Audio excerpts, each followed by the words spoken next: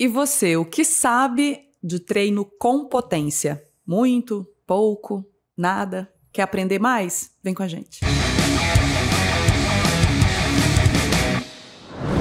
Treino com potência é um assunto que chama muita atenção. A galera gosta muito da potência. Então eu queria que você explicasse pra gente o que que é esse treino com potência, como ele funciona, quais são os benefícios. Fica à vontade. Treino com potência. É, bom, primeira coisa, você vai precisar de um medidor de potência, né? De preferência, um medidor de potência de boa qualidade, porque a gente tem alguns aí que dão dados de potência super distorcidos. E se você tem um medidor de potência que te traz uma variação de 10% dentro da mesma sessão de treino ou entre sessões, ele não está te ajudando muito. Mas considerando que a pessoa tem um bom medidor de potência, né, um, um medidor de potência que vai trazer dados reais ali e dados confiáveis, a gente tem inúmeras vantagens do treinamento com, com potência, né? Hoje eu falo para os meus atletas que assim, o, o melhor, os melhores investimentos são aqueles que ele vai fazer em si, né? Que é alimentação, é você dormir bem, você ter um bom treinamento. Depois disso, o melhor investimento que a pessoa pode fazer, antes de querer comprar um par de rodas diferente, querer tirar 100 gramas da bicicleta e gastar 20 mil reais para isso, é, não que as rodas não sejam importantes, porque as rodas são muito importantes ali também, mas a ferramenta, a melhor ferramenta que a pessoa pode fazer um investimento hoje, assim, seria um medidor de potência. Porque o medidor de potência vai trazer muitos insights para o treinador avaliar. Né? Eu falo que assim, muito do meu trabalho é análise de dados. Né? Então as pessoas imaginam muitas vezes que o meu trabalho é pegar a bicicleta e sair pedalando com as pessoas por aí e pronto. E não é. O meu trabalho é olhar uma infinidade de números que muitas vezes estão ali em formas de gráficos, de, de linhas de tendência, de análise estatística sobre dados cruzados, para chegar na, nas melhores, na, na, melhor equação de desempenho de cada, cada pessoa. E o medidor de potência ele vai trazer essa enormidade de dados e detalhes do treinamento. Porque quando eu tenho uma análise de frequência cardíaca, é, vou dar um exemplo para ficar bem claro.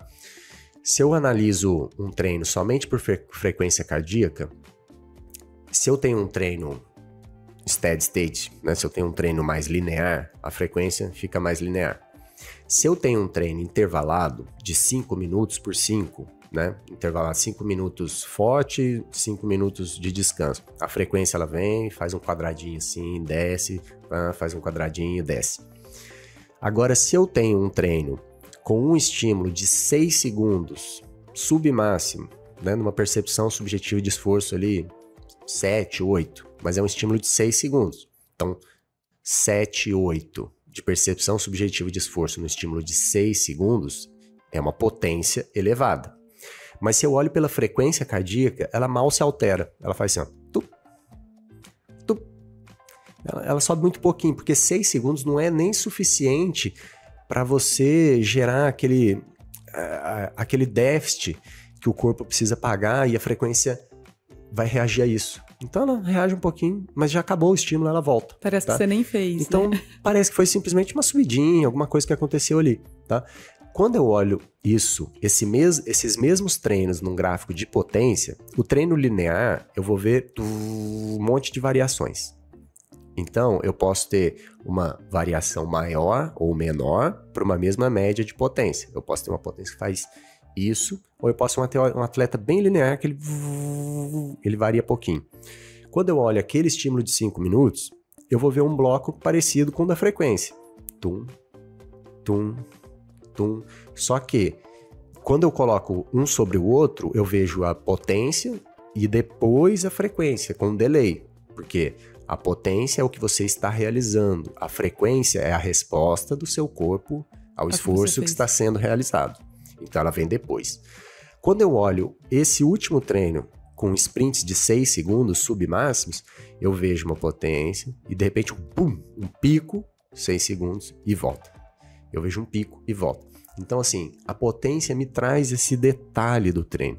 Ela me traz essa variação, ela me traz exatamente o que você está entregando né? Ela é uma medida ou uma ferramenta de monitoramento, de treinamento quantitativa.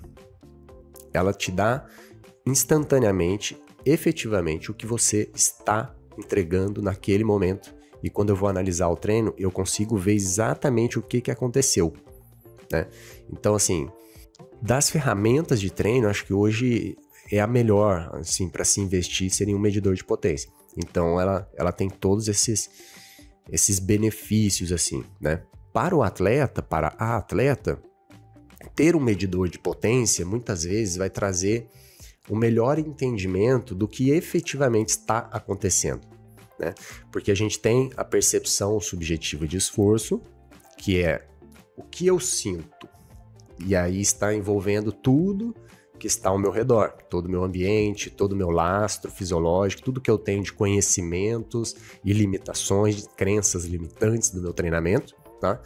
É, que é super positivo você ter bem, isso bem desenvolvido, mas muitas vezes para o atleta é difícil desenvolver a, essa percepção de esforço simplesmente por uma questão assim do, do tempo, sabe? Você precisa se expor a muitas situações para conseguir desenvolver bem a sua percepção subjetiva de esforço. Então você precisa de bastante tempo para isso também. Quando você tem um medidor de potência, você consegue comparar o que eu sinto e o que efetivamente está acontecendo. E quando você consegue comparar essas duas coisas e você ir fazendo essa relação, se observar por meio do que eu senti e o que eu entreguei, isso auxilia nesse processo de autoconhecimento e muitas vezes o medidor de potência melhora a sua execução do treino. Então, assim, não é incomum o atleta errar a mão muito no começo de uma prova, no começo de um treino, no começo de, um, de uma escalada, porque você tá fresh, tá, tá descansado. Então, sua percepção de esforço ali é diferente do final de um treino de três horas. Então, você sai mais animado. Quando você observa pelo medidor de potência, você vê claramente essa animação. Porque aí você pega o relato, fala, ah, tá, mas como é que foi o treino hoje? Não, eu saí mais controlado e tal, não sei o que. Você fala, saiu? Vamos ver no medidor de potência se saiu. E aí você pega a média de potência dos primeiros 20 minutos, pega a média de potência de 20 minutos no meio, pega a média de potência, ou a média, ou NP, ou enfim, tem vários dados que a gente pode escolher ali, tá? É, você vai pegar esses dados efetivamente entregues. E aí o dado que você escolher ali que faça sentido para análise no momento. Mas vamos falar de potência média só para facilitar, tá? Então eu pego aqui os primeiros 20 minutos, pego 20 minutos no meio do treino, pego 20 minutos no final do treino e comparo. Essa pessoa que falou que saiu super controlada, efetivamente saiu controlada? Aí você olha a potência, geralmente os atletas com menos experiência, os atletas amadores com menos experiência, os primeiros 20 minutos estão 15, 20% acima dos últimos 20 minutos. Aí você fala, não, é normal, né? A pessoa se desgastar um pouco mais no treino vai sentir. É, não 20%. Porque o que acontece é um número super legal que as pessoas gostam de falar é o tal do FTP, né? É o é, hoje é importante medir o tamanho do seu FTP, né? Fazendo, fazendo uma piadinha. É, antigamente se media o tamanho de outras coisas, agora é o tamanho do FTP que é importante. Aí, qual que é, o, qual que é o seu FTP? Nossa, que FTPzão, hein? Então, assim, a gente hoje o FTP é a medida de, de sucesso na vida das pessoas. Mas a maioria das pessoas sequer sabe para que serve efetivamente o que, que isso representa e como usar. Elas só estão comparando o tamanho do FTP, mas a alegria que o FTP dá ali, elas não sabem, elas não sabem tirar a validade daquele dado. Então, assim, o FTP, tá?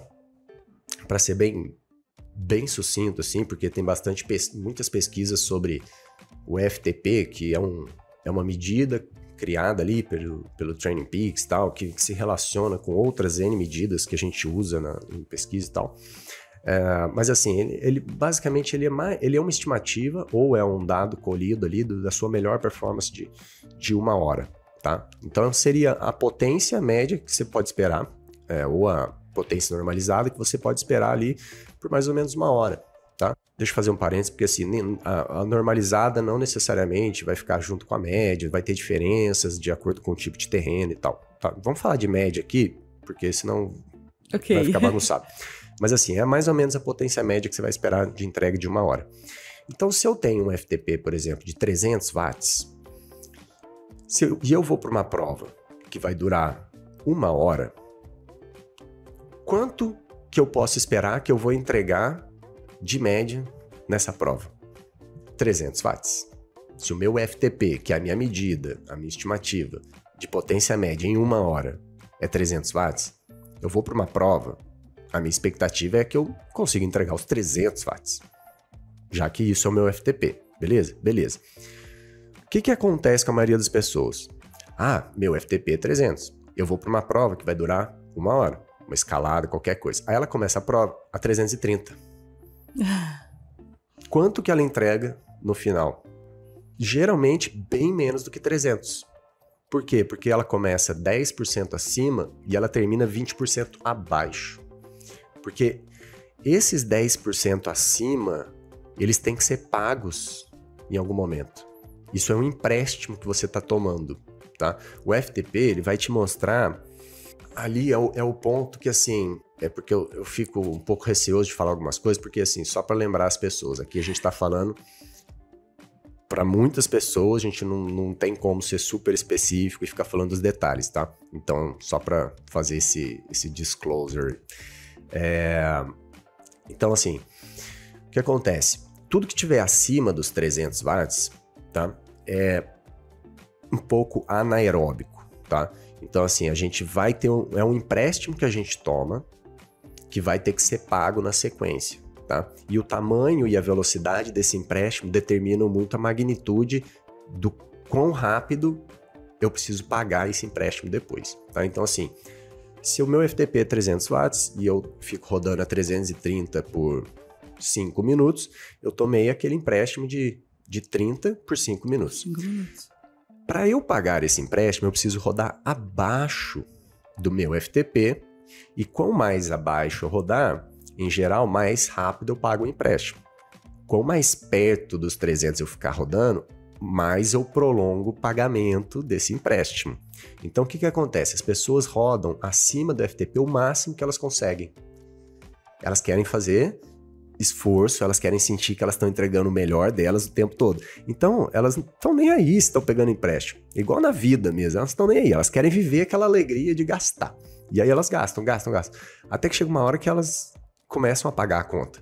Elas querendo ou não, porque não é infinito. Então elas começam a pagar a conta. Então o que estava 330 começa a vir para 320, 310, 300. Só que lembra, para pagar a conta, ela, aqui ela só está tomando menos empréstimo. Mas ela vai esticando, ela vai esticando a corda. Até uma hora que o banco fala: não, agora você paga. E aí ela vem no 300, ela vai para 290. Só que no 290 ela está pagando muito pouco. Aí ela precisa ir para 280. Aí ela fica no 280 mais 50 minutos durante a prova. Então, aqueles 10 minutos a 330, 5 minutos, 10 minutos, custam ela ficar a 280, 50 minutos de prova. Por isso que a entrega no final geralmente não é tão positiva. Ela acha que ela entregou melhor, mas ela não entregou melhor. E ter a potência para ver isso é importante para muitas vezes mudar esse gatilho na cabeça da pessoa, mudar esse mindset, falar, cara, realmente, eu achei que eu estava fazendo bonito aqui. Aí fala, não, tudo bem, a sua percepção de esforço é essa, ok, você segurou, segurou, mas estava fresh. Olha como você ainda está acima do ponto que você deveria estar. Você deveria começar mais baixo. Óbvio que tem, a gente tem questões de largada, largadas em massa necessitam né, que você largue um pouco mais forte. Mas quando a gente tem um medidor de potência, fica muito visível isso para a pessoa. E aí ela consegue ir melhorando a qualidade de entrega dela durante os treinamentos e ela começa a entender um pouco mais essa dinâmica de distribuição de carga, de energia durante os treinos e durante os estímulos de subida, de plano, como é que funciona, como é que não funciona. É, e auxilia muito né, o processo de evolução dela dentro do, da bike. Essa é uma das formas de você realizar o seu treino, com a potência. Espero que vocês tenham entendido e que possam colocar em prática.